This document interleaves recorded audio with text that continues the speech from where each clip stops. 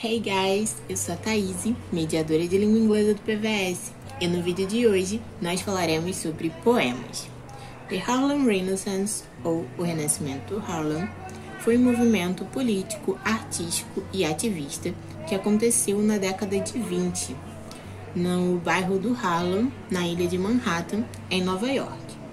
Também conhecido como Novo Movimento Negro, tinha como objetivo valorizar as produções e expressões artísticas da população afro-americana, valorizar sua cultura, formar uma nova identidade social e lutar contra toda forma de opressão e racismo.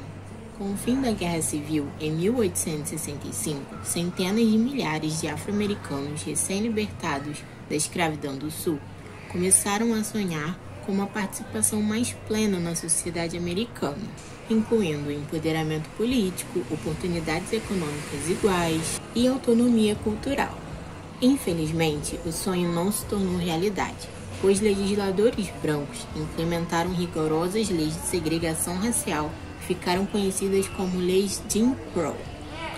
Embora uma minoria desses afro-americanos conseguisse se tornar proprietários de terra, grande parte ainda era explorada. O sistema fazia de tudo para que eles continuassem pobres e sem poder. Grupos de ódio fizeram linchamentos e campanhas de terror e intimidação para impedir que os afro-americanos votassem ou exercessem outros direitos fundamentais. Os afro-americanos perceberam que suas esperanças em melhores condições de vida e ambientes mais tolerantes encontravam-se longe do Sul. Então, na virada do século XX, ocorreu o que chamamos de Grande Migração, que foi quando grande parte desses afro-americanos se mudaram para cidades como Chicago, Filadélfia e Nova York. O bairro do Harlem, em Manhattan, atraiu mais de 175 mil afro-americanos, se tornando um dos bairros com a maior concentração de negros no mundo. Na verdade, o bairro se tornou um destino para afro-americanos de todas as origens. Algumas mentes e talentos mais brilhantes, artistas e acadêmicos afro-americanos foram morar lá. E em meados da década de 30, o Harlem passou a ser uma das mais significativas fontes de expressão cultural da história da nação. Daí o nome, o Renascimento do Harlem. O escritor, crítico e professor, educado em Harvard, Ellen Locke, um dos reitores do movimento, descreveu o movimento como um amadurecimento espiritual, onde os afro-americanos transformaram desilusão social em orgulho racial. O renascimento do Harlem incluiu poesia, prosa, pintura, escultura, jazz, swing, ópera e dança.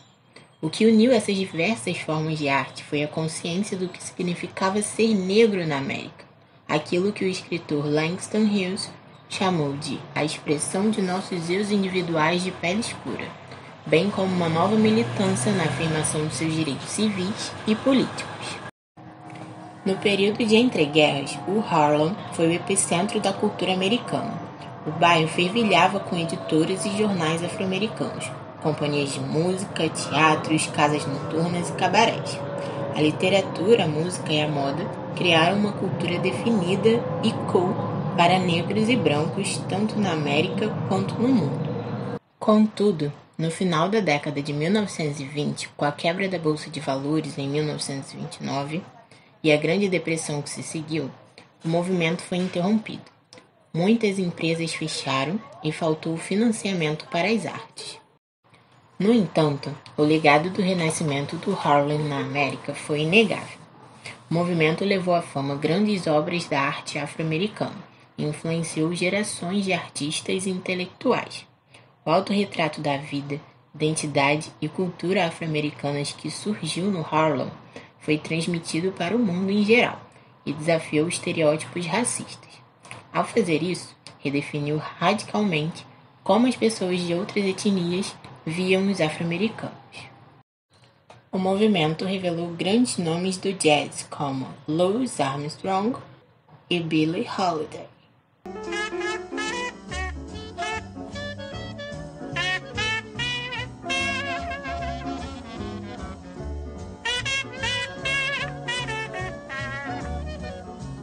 Southern trees, their strings. Fruit. Blood on the leaves and blood at the root. Black bodies swinging in the southern breeze.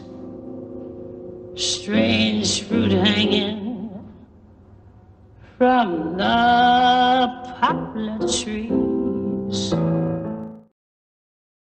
Além disso, a produção literária ganhou vida nas vozes de Maya Angelou. You may write me down in history with your bitter, twisted lies. You may trod me in the very dirt but still like dust, I'll rise. Does my sassiness upset you?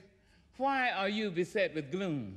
Just because I walk as if I have oil wells pumping in my living room.